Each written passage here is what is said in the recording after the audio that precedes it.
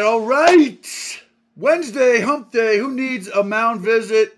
Breaking our day. Thanks for joining us again. Case, what's up? We Oh. got a uh, good good show on tap today. Yes, we do. Um, a lot, a lot is up. That you were one all right short of Matthew McConaughey there on that one. You were t- two all Well, rights. I'll have to tell that story, man. I did get to meet him. Oh. If you look at my Instagram, I think there's a picture of us when he came through Texas. What a legend! and there was a, man.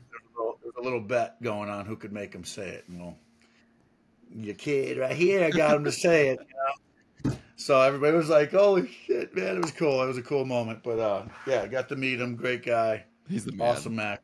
Yeah, Yeah, just motivational speaker. Loves life, man. That guy, pretty incredible. yeah, yeah. Maybe we got Absolutely. him on the show. A mound visit. That might be a four-hour mound visit right there. If we had him on our show, It, it's that's not a short. it's funny because I probably mentioned it at you know way too many times, but David Wright is my guy. So like if we had him, but like right under that is Matthew McConaughey. So like he's like one A. You know what I mean? So I'm gonna try to come through for just you, man, fanboy, and right Hey. here. all right, yeah, Uh, no, we got a lot to cover, man. Uh, Hall of Fame weekend Mhm. went well. The Crime Dog and and Rolen. There's always amazing speeches and motivational stuff. Um, but I wanted to kick off something that really kind of maybe two things, but they're on my mind Yeah. at this mound visit. There's always a lot to spew, but um, something I got to do this weekend was for my buddy Billy Staples, who's an unbelievable teacher and the best scholars is his foundation. And I was there this weekend with my parents. Omar Vizquel was there, Larry Holmes was there, among legend. a, a slew of you know ex ball players, father son combos. It was cool, and it, and, it, and the popularity is growing of it to put these kids through college. Um, it- it's incredible, right? When Yeah. you when you when you when you elevate somebody who doesn't come from a charmed background, we all need help, um, but we are. Uh, are there to help raise money and, and these kids get through college and go on to be better people, better citizens, and they give back. Even former kids who got scholarships were there Oh, and that's so giving nice. back to the program. It was it was unbelievable. It was a lot of emotion, and for my buddy Billy Staples, I wanted to give him a shout out. And here's what we do. One of the things that I do to help donate, and I got Sean Casey and some of my boys. I'm trying to get all my my boys uh, in the fraternity here uh, to give back. Getting all this fan mail, right? We get all this fan mail that we never know what to do with. It's hard to sign that much mail. People think like, oh, how hard is it? Well, when you get an influx and flood Mm. of thousands of cards that you people want you to sign. I've even had people who stick a check in there, five dollars. Hey, thanks. We want to give you something to sign your. I don't charge kids, even if it's a a, a collector. Yeah, I, I don't I don't want money for signing my name. Yeah. It takes two seconds.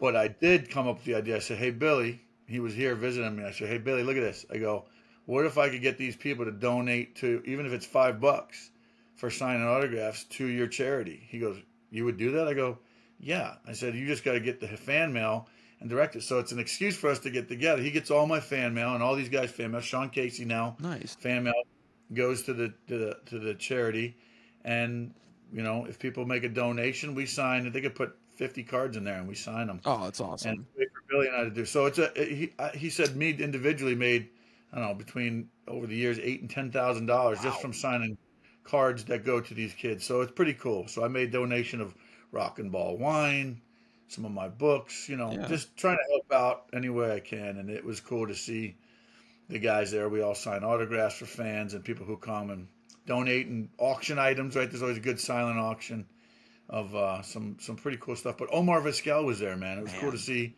He was, uh, yeah, he's probably one of the best fielders of all time. Yeah, Hall absolutely.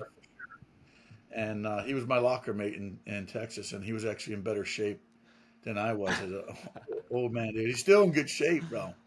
So it was good to catch up with him and uh, you know do do do the give back, which I know a lot of players do, and we're talking about awards and Cy Youngs and this and that, but the Roberto Clemente Award, uh, which I was honored to be a nominee at Mhm. one point, it's probably one of the one of the better things that I feel good about. Um, you know, because we we all look at like, oh, we make all this money, we get to live a dream, but do you get the kickback? You know, and with a nickname like Grilled Cheese, I was always trying to do something. You know, teamed up with Feeding America. Yeah.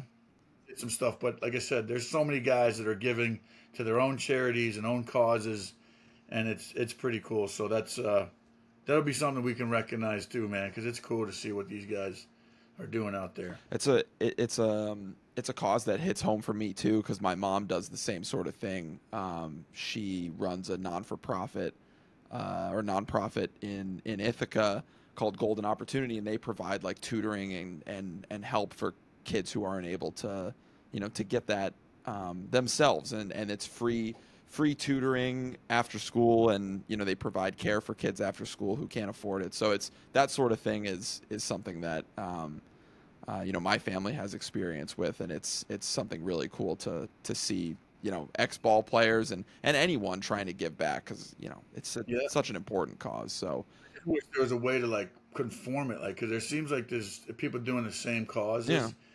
but just a way to funnel the money where it needs to go. Right? Everybody knows we all we all need money, and money is a resource, just like breathing air and yeah water and everything. You need enough money, just enough. Mhm. Um, I don't know. Congratulations to the billion dollar winner out in California, Powerball.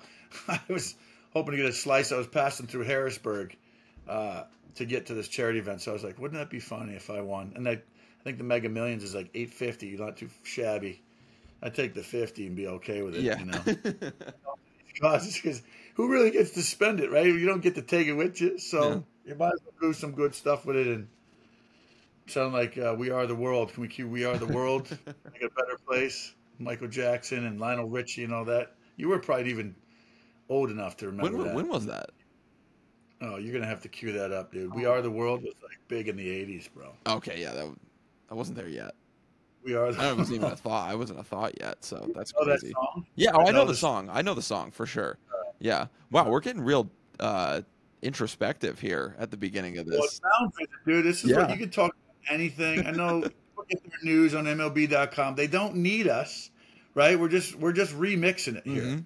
They want to get the news and maybe catch up and feel like they're just eavesdropping in on the shit that's on our mind, bro. That's right. Well, speaking of uh, some of the stuff that's on our mind, I don't know. The trade deadline has been on my mind nonstop, and I'm sure it has for you too, because we've been talking about it nonstop. But um, I think it's five days away now. I mean, we're July 26th on Wednesday here. August 1st is the trade deadline. Crazy time of year. Um, and I think one of the things to to look at is, you know, for me, it's always interesting to see the teams. You know, it, it makes or breaks your season, and it tells the fans who are watching what this team really thinks of their current squad and what where they think they can go further on in the season. So, you know, I'm, There's a lot of that's going on right now in the front offices and and and Yeah. uh, with the manager going like, "Hey, man, are we still in it this year? We put we we cashing in, Mhm. chips all in. Are we, are we shooting for next year? You know, Yeah, and I think the biggest the biggest thing to talk about, we've talked about it for the last few episodes, but let's get it out of the way now and then we could we could move on. Yes. It's our our, our patented Ohtani segment before the deadline, but um Well, the Buccos gave him a reason to say, "Hey, man." The Buccos put a put a beating on him. I thought they were gonna. I called a no hitter. I was like, man, I might be a no hitter in his his uh, thing. And the opposite of that, man, and he got touched up a little bit, but shows that he was human. Yep. It's you know, Ohtani's great, but he's human, and that happens. So, yeah. but yeah, I don't know. Like you said, go ahead with your Ohtani Well- claim. With the Reds, are the Reds calling him right now? The Reds, uh, it, it's I, I think my Reds take might have been a little a little outlandish, but I think the um the, the question I wanted to ask you because this is something I've been wrestling with myself. Huh?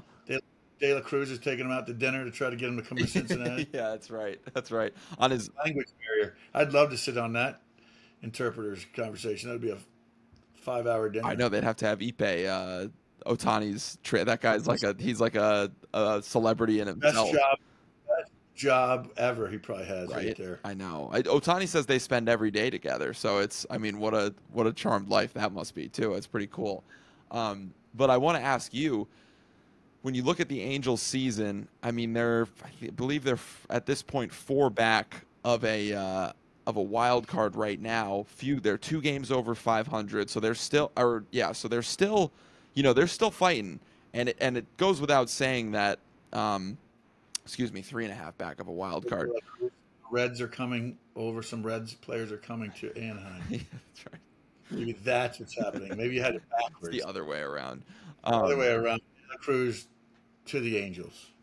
Yeah. yeah, I don't know if they they're ever letting him walk out of their building, but but I think the the thing that the thing that I wanted to ask you is with the Angels being in the position that they are, do you still think there's any way that he gets traded or do you think that the Angels have kind of already made up their mind because I know that we have a couple days left, but do you think they've already made up their mind in the sense that we're keeping him? This is the team we're rolling with. I think I think unless somebody comes up with a with a futuristic, ridiculous thing where they're going to throw him three or four years for three or four hundred million dollars, something that's asinine but not a ten or twelve year deal. I think they're, and again, I don't. It's unprecedented stuff, so they're going to have to. Some team is going to have to pull something ridiculous because I mean, deservingly so. Do I think he's going to get traded? I have no idea. Mm. I have no idea. On my honest opinion, I have no idea. I'm not going to try to deduce or I'm just going to, I'm watching the reality TV shows. I always say, yeah. we're watching the greatest TV reality TV show right now. The, the, the climax is coming. And even there's going to be deals after the trade deadline. Yep.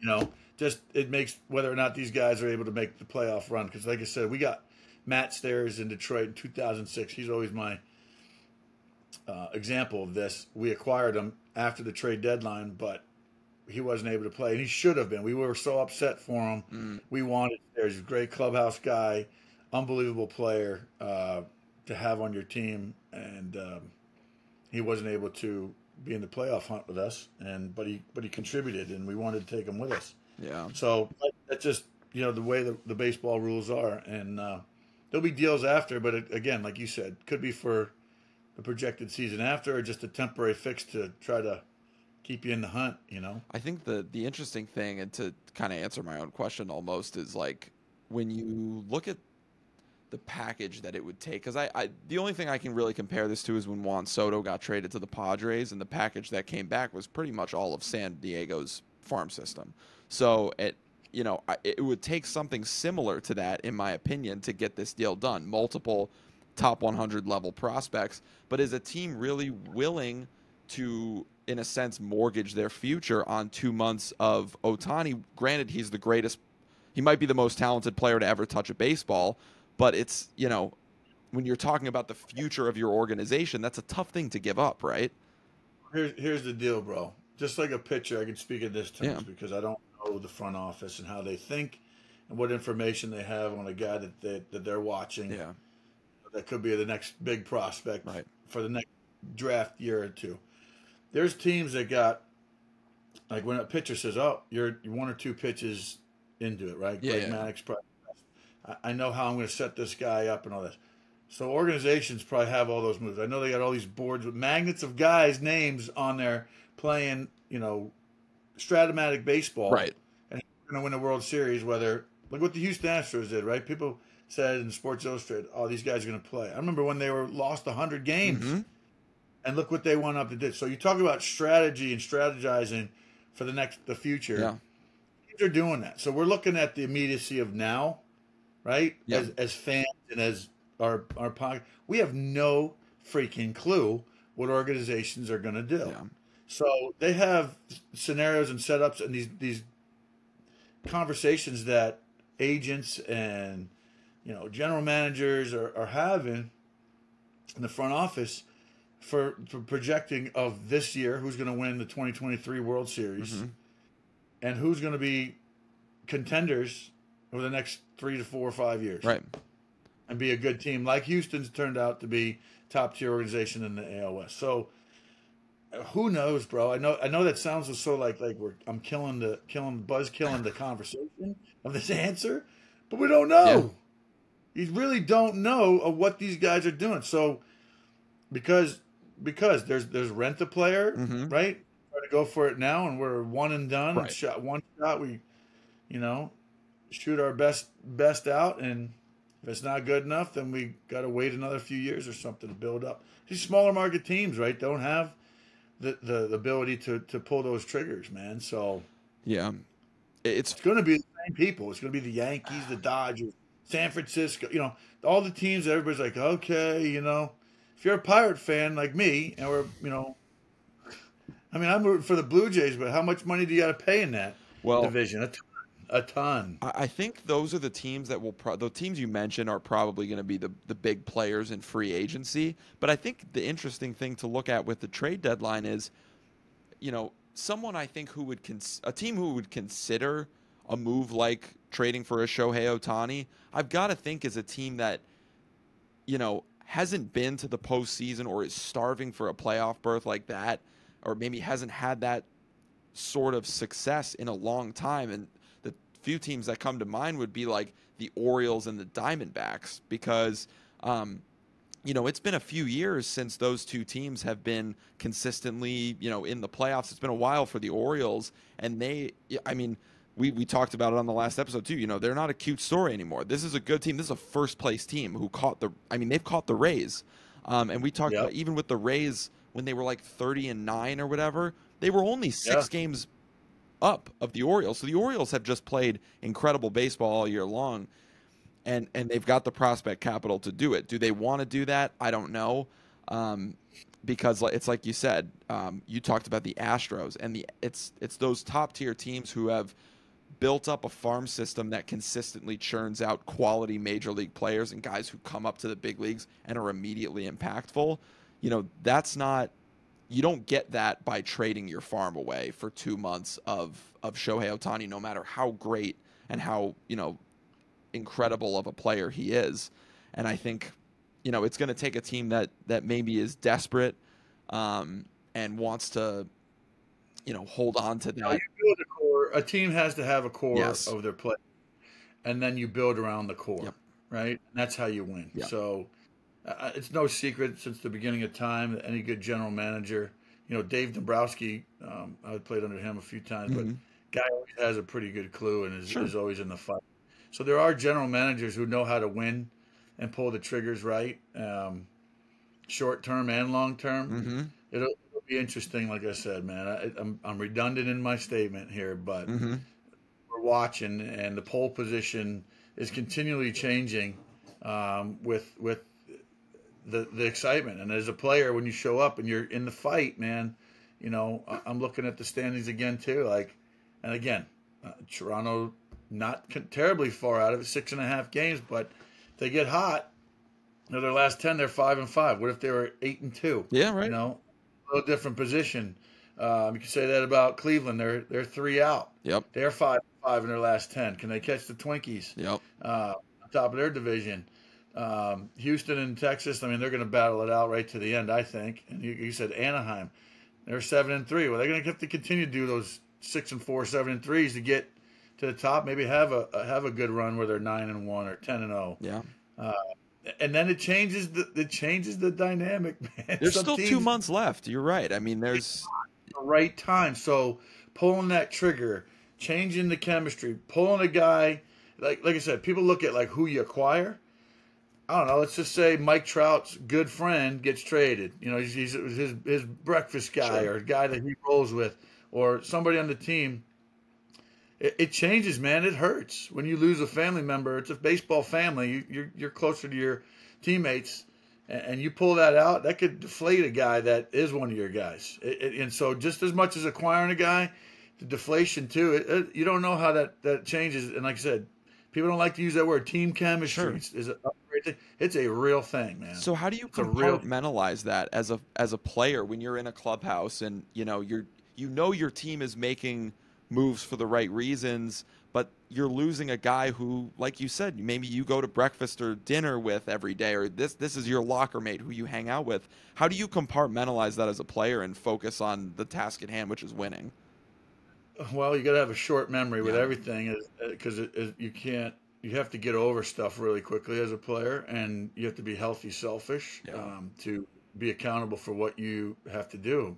But you know, there's there are team psychologists and people that you know, if it's that hurtful, whatever. It, we all we all have different needs, Yeah. right? It, it's it's real, and uh, but like I said, we we we almost glorify athletes to the point of going like they're not human beings. They're real human beings with real emotions, real feelings, and it hurts, man, when you lose a game or you publicly embarrass yourself by not doing your job. You let the city down, the team down, your teammates down, your family down. It hurts. And there was an article, I'm trying to remember what it was in. Uh, I read a while back, Mhm. uh, but it was just about how some guys fall victim to the bottle or Mm. you know other, other modes of like trying to sulk and you know it's hard to go to your teammate who's sitting there and you almost like embarrassed. you like you almost like you feel like your teammates hate you even though they Mhm. don't uh, but they're upset like come on man you know you know we're all rooting for each other. But um but yeah this thing of of adding and taking away it, it, it there's dynamics that are unspoken um, or that fans would even really understand and know about. And that's it's it's a perfect segue to the next topic that I wanted to speak about because um, I was I read a quote from uh, one of the relievers on my on my Mets, David Robertson, and he's going to be one of the you know if the Mets don't get something together, I mean he's the first one out the door. He's had a, an unbelievable season, and you know relievers are they fly off the shelves fast during the trade deadline, so it makes sense. But he said, you know, they asked him about, you know, what are your thoughts about you know potentially going to a winning team, whatever it may be. And he just said, I'm not excited about it. Uh, You know, it is what it is, but I'm not, you know, I'm not necessarily looking forward to it. And I wanted to get your opinion on that, especially as a former reliever yourself, because David Robertson is someone who's, you know, he's been traded at multiple trade deadlines as a as a quality reliever because teams always need more. Um, but it really brings up the point of what you were saying too, with the the human aspect of this. That you know, yes, we as fans talk about this, and we're trading players, and it's and it's like, oh, we're getting I this got 12 jerseys, bro. right, and it's like we're getting this, we're getting this piece back, but uh, like we're trading human beings, and these human beings have families who are in cities Yes. that don't want like. Talk a little bit about that, and can you uh, can you kind of empathize with Yeah, David. Robertson on that? Absolutely. Um, moving your family, especially when you have kids, um, very tough. I I'll just speak about the one trade that, stung the most was going from Pittsburgh to Anaheim. Uh, I just had my my uh, little guy, my youngest son, was born, uh, you know, only a, only a few months, several months old, and I didn't get to see him for months, you know. So uh, being out in the West Coast because my son was in school, started kindergarten. My oldest son was in kindergarten. So there's just things in family ripping apart. Moving is one of the top uh, stresses in life. Yeah. And sometimes I've moved four times in a season. When you go to spring training, go from your home where you reside to spring training, that's one move. Then you go to your home city. Then if you get traded and you move back home, that's a lot of moving around Yeah, right? So uh, to, to stay focused and to stay locked in and to do your job, it's just what you have to do. And players, I'll go back to the Degrom interview when he's crying. Mhm. We love to do what we love to do, and we would pack our bags and go anywhere. But getting getting the the support system behind you, and that's why you have to have a good family and a good wife and a good this and a good that yeah, because it's a lot. And I think, you know, for me, I, was traded from being even Detroit to Colorado.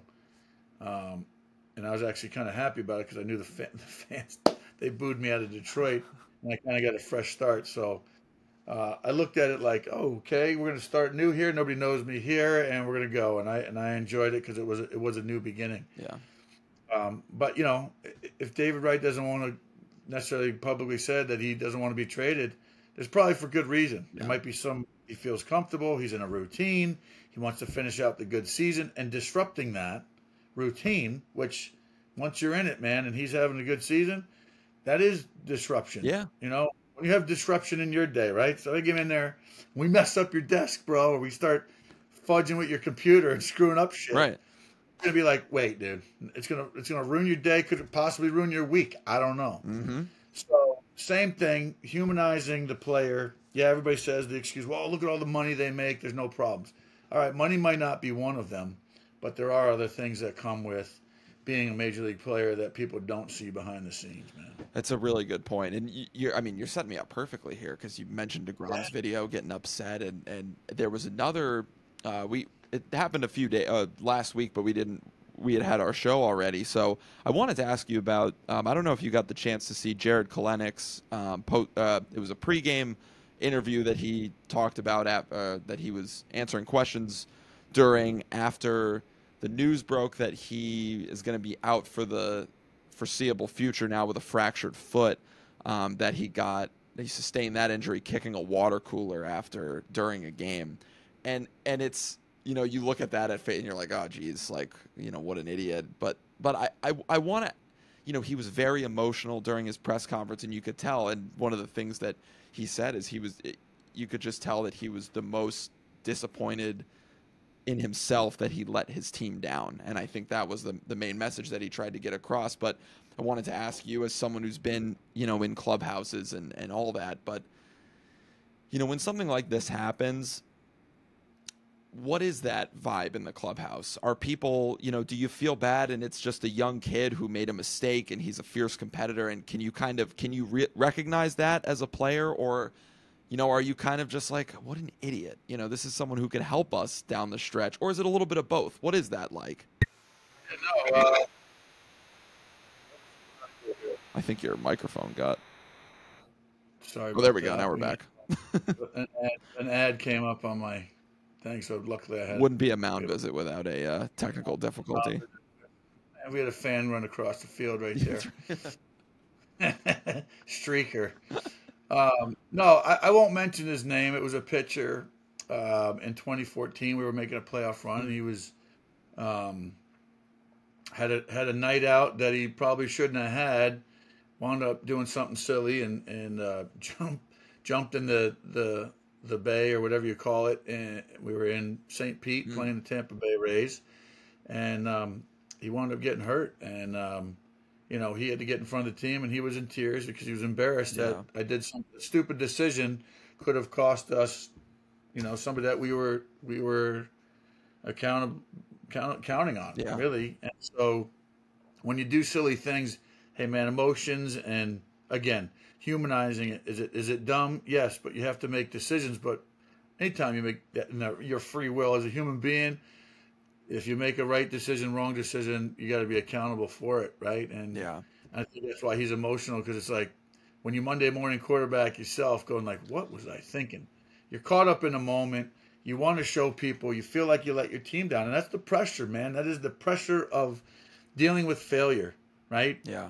And and it's easier to have those outbursts of emotion. It seems it seems more fitting than dealing with success. Some guys don't know how to deal with success, and it's scary. Mm. But there's not like I'm not punching a water cooler when I have success. I'm punching it when I fail, Yeah. right? Um, and I remember what was it? Carlos Gomez is one of the ones too. Man, he was a hothead and then smashing water coolers, but he did it with his bat. You can still get hurt There you go. if you're throwing equipment and doing that. Uh, but yeah, man, anytime you you have reactions to it, it it, it shows you care, but you can maybe do it a different way without hurting yourself, which sucks. Yeah, and I'm sure that I mean he's young, you know, I think he's only 23, 24, so he'll learn from that hopefully and and and and move past that. But I, I to to move to a lighter note before we get to to some of the meat and potatoes here the to end this show, but it, have, are there any funny stories of uh, of guys losing it in the dugout before uh, but and maybe not getting injured? Any anything that you can think of? I'm, I mean, you've been in a zillion big league uh, dugouts, so You know what's funny? It's like one of those things where where you see people slip on ice or you know fall down. yeah, you don't As long as they don't get injured, you can laugh. Yeah, The same thing is like when you lose it. I know guys have chuckled. I I got I can't remember where it was. oh yeah, I- I'm sure you. got- Do you have any? Oh, I did. Well, me personally, yes. I think I was. Uh, I gotta remember rewind. I think I was with. I know it was against the A's, Okay. and I came in and I was smashing chairs and just whatever, and I could see some of the guys trying to hold back, chuckling, because I just was like destroying everything in in, in my path, and uh, yeah, it was it was kind of tough, but you know.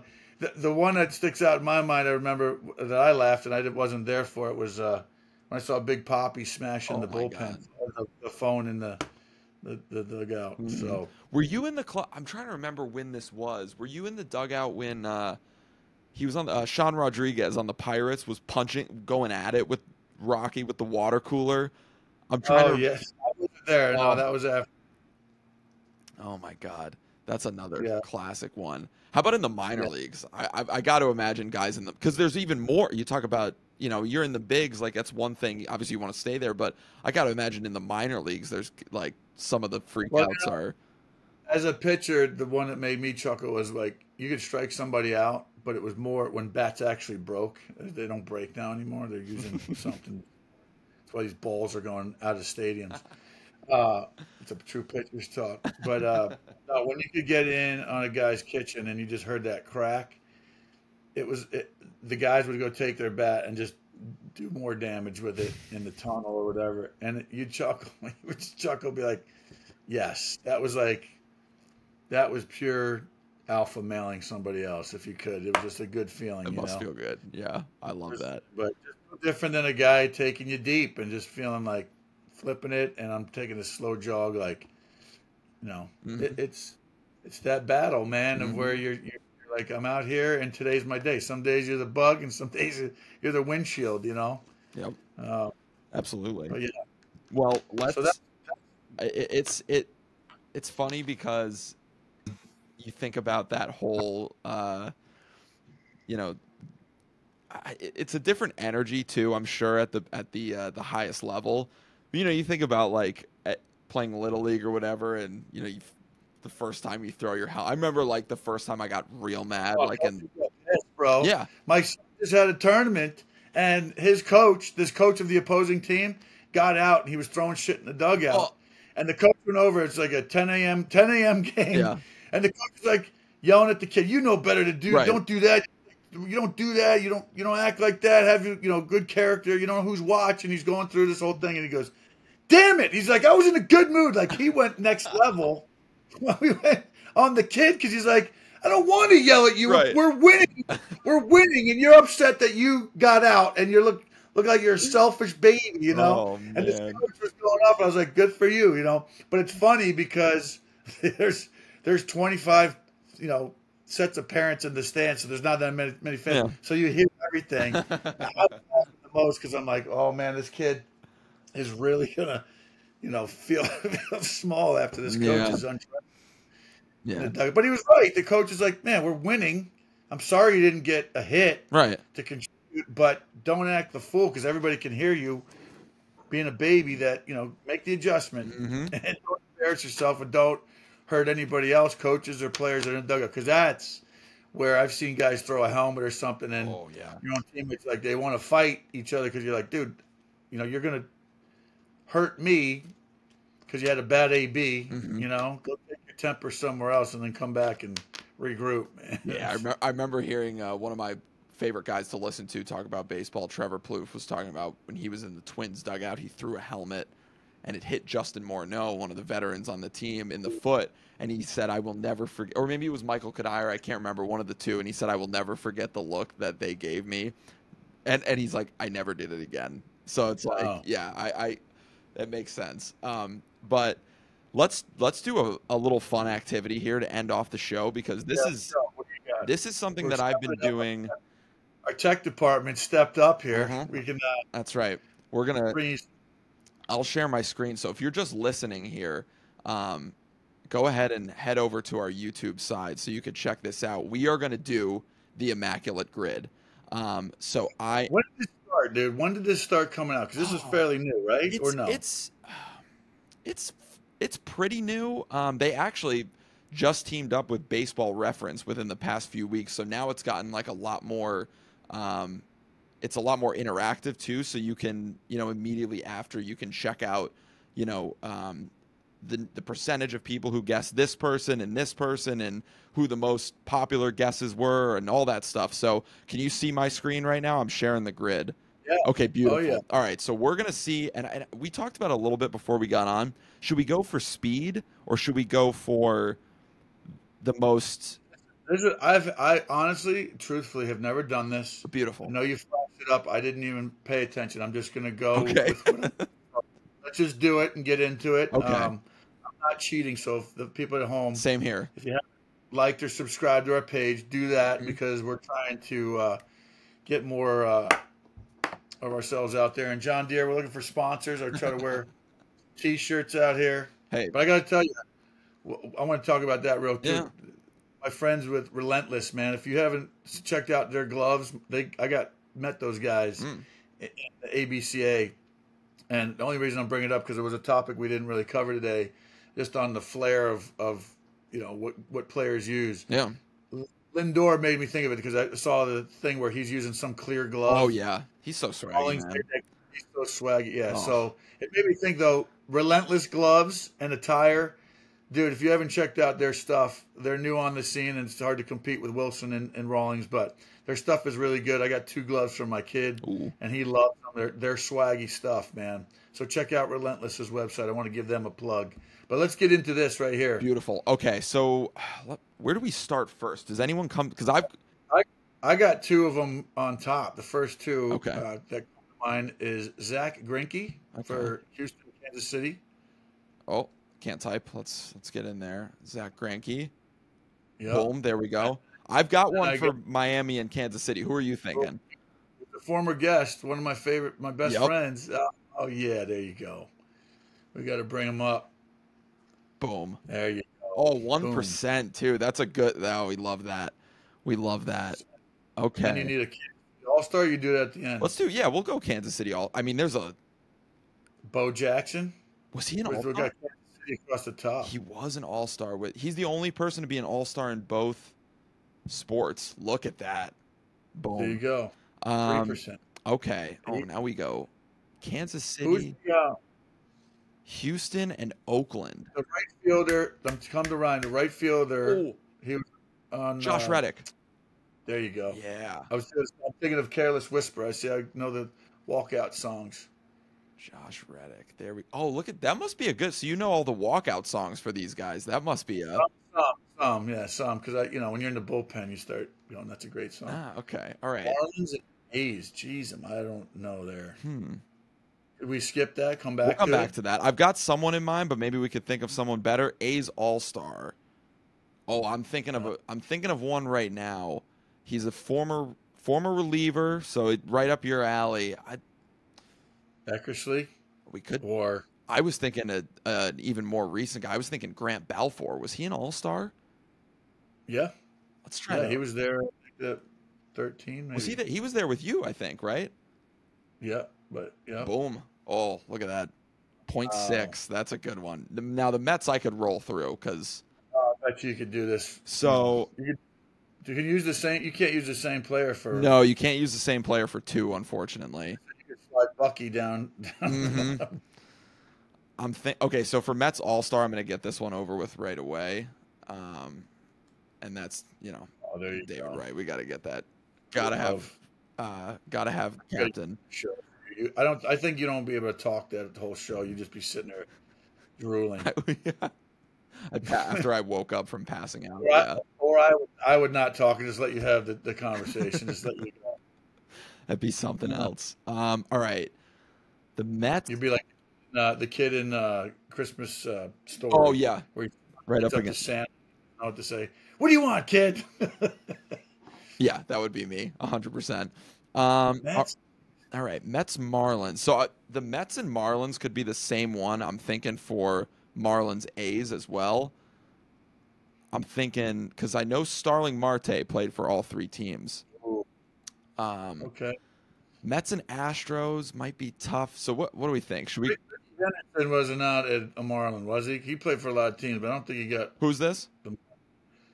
I don't think Rickey Henderson played for the Marlins at all, did he? He played for a lot of teams because I know he was. Hmm. I don't know if he played for the Marlins. Did he play for the Astros? No, I, I'm thinking. Maybe he did. No, he was Dodger. Oh, I don't know. I don't think he played. So I'm thinking of one. And the only reason I'm thinking of this is because I watched him not only pitch for the Oh, Syracuse. Nolan Ryan for Houston and the Mets. Nolan Ryan. There you go. That's my hero. He's sitting behind me. How can I not say my boy Nolan? Boom. Love that. Um, Uh, okay, so we got Marlins A's and Marlins Mets. Now, since I have a deep um, understanding of the not only the major league roster for the Mets, but the minor league roster as well, and I live in Syracuse, so I've been to plenty of Syracuse Mets games. There's one player that's coming to mind. He's got one of the better names I've ever heard in baseball, and that is Jimmy Yacabonis. Ooh. Let's see if I there he is. Jimmy Yacabonis. there we go. Get out of Not here. many people are gonna get that one because I first watched him pitch for the Marlins, and he's a side armor who, in his, well, I mean, I guess he's still young. He's still in his prime, but he was throwing like 97 from right here. It was crazy to watch. Um, hasn't What had. do we win?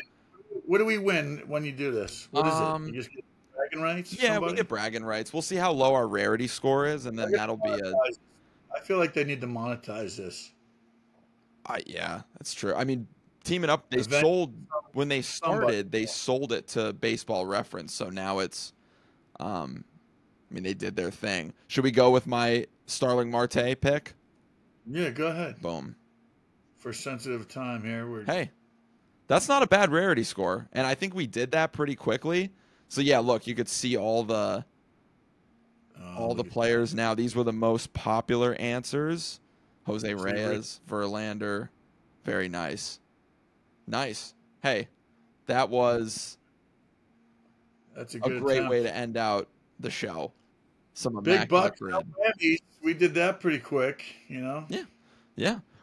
I would cheat off your paper, and you cheat off my paper. that's right. we- a team immaculate. That's actually the first team immaculate grid I've done. So, and I okay. pleasure to do that with my Mount as a partner. visit today, brother. Hey, this was a good one. Mhm. Um, again, if you haven't listened to our show, this is your first one. Hopefully, we've entertained you. We've brought you just a moment of your day to think about something else. That's what sports entertainment's all about. Darn right. We've got a great season going underway, 2023 season, lots happening. Uh, if we didn't cover a topic you uh, want to join and, and, and eavesdrop drop on, drop us a comment, Mhm. drop a like, give us a thumbs down if we suck today, because sometimes that's why you have a mound visit. right. You make the damn pitch. Yep. We didn't do the come through. But, uh, you know, listen, man, we love our fans. We thank you for your time and uh, spending it with us. That's right.